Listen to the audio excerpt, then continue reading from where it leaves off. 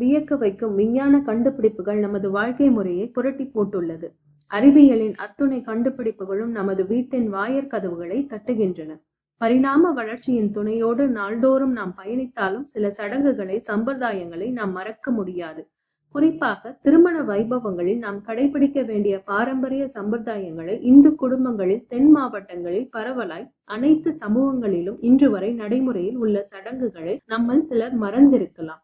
எனவே நாம் நம் திருமண விழாக்களிலே திருமண உறுதி செய்யப்படும் வைபவம் தொடங்கி பிறந்த குழந்தைக்கு பெயர் சூட்டும் வைபவம் வரை நாம் ஆற்ற வேண்டிய பணிகள் செயல்படுத்த வேண்டிய சடங்குகளை நினைவூட்டும் வகையில் இந்த பதிவினை பகிர்கிறோம். இந்த சடங்கு சம்பிரதாயங்கள் ஒரு குறிப்பிட்ட சமூகத்திற்கு என்ற வரையறைக்குள் அடைத்து விடாமல் அனைத்து சமூகத்திற்கும் உள்ளடக்கியது என்ற வேண்டுகோளோடு தொடங்குகிறோம்.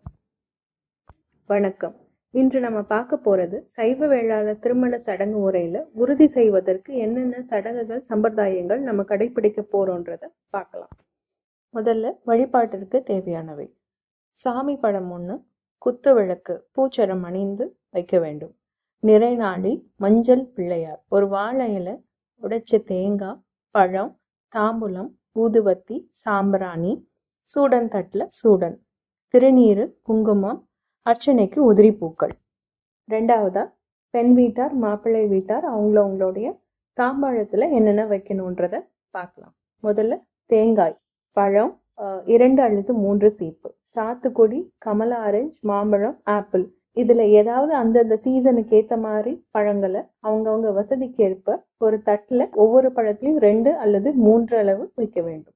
அடுத்தது சீனா கற்கண்டு அடுத்தது வெற்றிலை அடுத்தது கழிப்பாக்கு கிழங்கு மஞ்சள் மஞ்சள் குங்குமம் சந்தனம் ஒரு சொப்புல வைக்கணும். அடுத்தது பூமாலை ரெண்டு பொண்ணுக்கு ஒன்று மாப்பிள்ளைக்கு ஒன்று அடுத்ததா முகூர்த்த பட்டோல எழுதுறதுக்கு ஒரு வெள்ளத்தான் சிவப்பு மை பேனா ரெட் கலர் பென் ஒன்று அடுத்ததா உறுதி செஞ்சு வெற்றிலை பாக்கு மாற்றிக்கொள்வதற்கு என்னென்ன பண்ணணுன்றத ப்ரீஃபாக பார்க்கலாம். ஃபங்க்ஷன் ஸ்டார்ட் ஆகிற கொஞ்ச நேரத்துக்கு முன்னாடி நம்ம வழிபாட்டிற்கு தேவையான பொருட்கள்ல சொன்னோம்ல அதெல்லாம் கிழக்கு முகமாக நோக்கி வச்சு அது முன்னாடி நம்ம மாத்திக்க போற வெற்றிலை பாக்கு பழம் அந்த தட்டையும் ரெண்டு பேர் பெண் வீட்டாரும் மாப்பிள்ளை வீட்டாரும் விளக்கு முன்னாடி வச்சிடணும். ஃபங்க்ஷன் ஸ்டார்ட் ஆன அந்த நல்ல நேரத்துல வீட்டில் இருக்கிறவங்க பெரியவங்களை கூப்பிட்டு திருவிளக்கு ஏத்தி சொல்லிட்டு சாம்பிராணி சூடன் தீபம் எல்லாம் காமிச்சு வழிபட்டுட்டு இரண்டு வெள்ளை தாள்கள்ல மூர்த்த பட்டோலை சிவப்பு மையா எழுதி அவங்க அவங்களுடைய தாம்பாளத்துல வச்சிடணும். முகூர்த்த பட்டோல எப்படி எழுதணுன்ற ஒரு பிக்சர் போட்டிருக்கிறேன். பார்த்துக்கோங்க அதை. அதுக்கப்புறம் மாப்பிள்ளையோடைய அப்பா அல்லது மாப்பிள்ளையோடைய கார்டியன் யாரா இருந்தாலும் அவங்களுக்கு பெண் வீட்டார் வந்து பன்னீர் தெளித்து சந்தனம் கொடுத்து வெற்றிலை பாக்கு தட்டை முதல்ல பெண் வீட்டார் மாப்பிள்ளை வீட்டாரிடம் கொடுக்க வேண்டும்.